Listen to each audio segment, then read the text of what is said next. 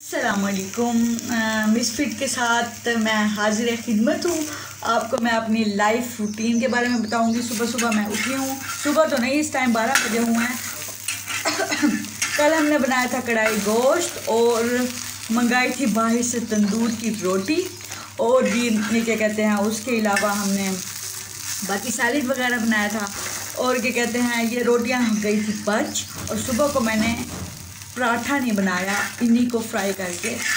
और ये हम मज़े से फ्राई हो जाएँगी और इसको पानी लगा के हमने फ्राई किया है ऑयल के साथ। ये क्रिस्पी हो जाएँगी और ये ज़्यादा पसंद की जाती हैं। नाश्ते में मेरे बच्चे तो बहुत ज़्यादा पसंद करते हैं। उनको पराठे की बजाय ये वाली फ्राई हुई रोटी चाहिए होती है। तो क्या कहते हैं, इसलिए फिर मैं इसको फ्राई कर रही हूँ अच्छी तरह से। थोड़ी क्रिस्पी हो जाए तो फिर हम इसकी ऐसे साइड चेंज करके यहाँ पे रख देंगे, ठीक है? उसके बाद हम कढ़ाई गोश्त गर्म करेंगे। उसके बाद पानी लगाने के बाद लेकर तवे पे। तवे पे डालना है और इसके ऊपर दो स्पून डाल देना है ऑयल के। नीचे से इसकी बैग जब अच्छी तरह सॉफ्ट हो जाएगी, नरम हो जाएगी तो फिर हम इसको कर देंगे, इसकी साइड कर देंगे चेंज और ये हो जाएगी मज़े की फ्राई हाँ मुझे पता है आपको शू शू की आवाज़ भी आ रही होगी, लेकिन ये अब आवाज़ तो आएगी किचन से, क्योंकि पानी और जब ऑयल मिलता है तो फिर एक साउंड पैदा होता है। लेकिन आजकल आपको पता है साउंड का म्यूज़िक आया हुआ है कि रिलैक्सेशन आप फील करें कि आप रिलैक्स हो रहे हैं, क्या मज़े की फ्राई हो रही है। एपिटाइज़र भी है ये एक साउंड जिसको भूख ना लग रही हो, वो रोटियाँ फ्राई होते हुए देखेगा तो यकीनन उसे भूख लगना शुरू हो जाएगी। ठीक है? चलें, अब आपको दिखाते हैं आगे क्या होता है।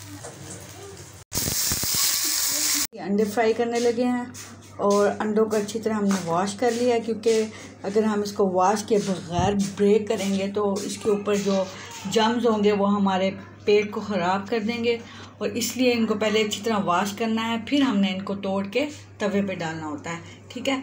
तो आपने भी कभी भी ऐसे खाली बाज़ार का अंडा डायरेक्ट नहीं फ्राई करना। उसको पहले अच्छी तरह पानी से, सादा पानी से वॉश करना है। उसके बाद ही आपने इसको ब्रेक करके तवे पे डालना है। ठीक है, अब हम इसको फ्राई करते हैं। मैंने फुल फ्राई ना है, जिसमें योग हो तो हम इसमें डालेंगे दो चम्मच ऑयल ऐसे, और आराम से ऐसे छोड़ देंगे।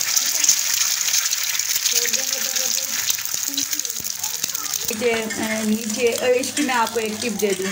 कि अगर आप चाहते हैं कि आपका अंडा नीचे से बिल्कुल भी ना स्टिकी हो तो ना क्या कहते हैं? उसके लिए ना आपको पहले थोड़ा सा ऑयल डाल के तो हाफ़ फ्राई चाहिए। हाफ़ फ्राई अंडा, ये देखें, ये योग इसकी इसी तरह है, मैं आपको मज़े की एक टिप दे रही हूँ। जब आप चाहते हैं कि आपका अंडा बिल्कुल नॉन स्टिक रहे तो आपने सबसे पहले तवे पे ऑयल गरम करना है, तवा यानी कि हम उसे तवा बोलते हैं, आप उसे हॉट प्लेट बोलते हैं, जो भी बोल सकते हैं आई डोंट नो हर ज़बान में एक नाम है इसका तो हमारी जो ज़बान है उसमें इसको तवा बोलते हैं।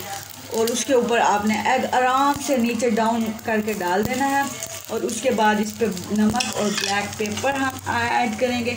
ये हमारा हाफ़ फ्राई एग तैयार। हमें चाहिए थोड़ा सा दही नाश्ते में। प्लेन क्योंकि सालन था। सालन के साथ थोड़ा प्लेन दही चाहिए था। तो इसके अंदर मैं जस्ट डालूँगी ऐसे थोड़ा सा खुशबू के लिए टेस्ट के लिए फ्लेवर के लिए खुश पुदीना, बस। और कुछ भी नहीं ऐड करना सॉल्ट भी नहीं ऐड करना मैंने, क्योंकि सॉल्ट ऑलरेडी मेरे सालन में है पड़ा। अच्छी तरह इसको मिंट फ्लेवर में ये योगर्ट होगा नाश्ते में, और साथ एग फ्राई और चिकन कढ़ाई। चलें जी, आप मज़े मज़े से इसको खाते हैं, ठीक है? Salt and black black pepper मैंने ऐड किया, ठीक है? और ये वानिया, जाओ आप रख के आओ जिससे काम पर चलिए